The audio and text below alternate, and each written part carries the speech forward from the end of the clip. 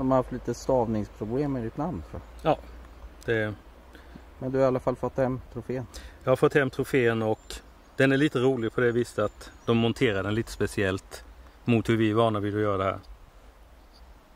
Men alltså ni var i Portugal. Vi var på Monteria i Portugal och Monteria är ju en drevjakt. Det kallar man det i Portugal och i Spanien.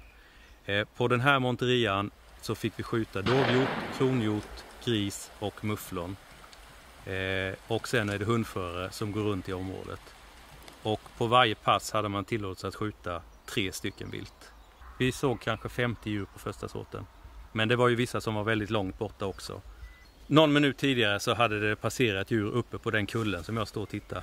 Och jag hörde att det var djur på gång där uppe nu igen och därför är jag fokuserad upp på kullen.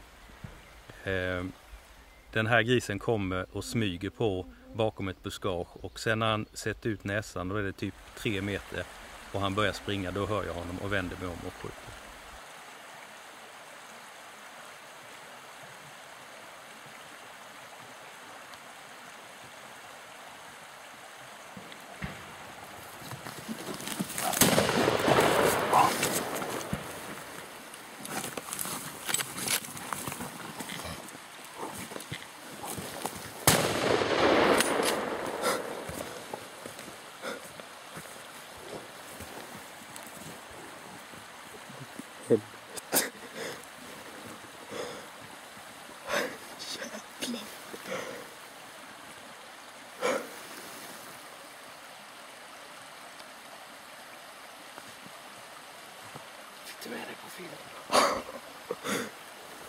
Det gick snabbt.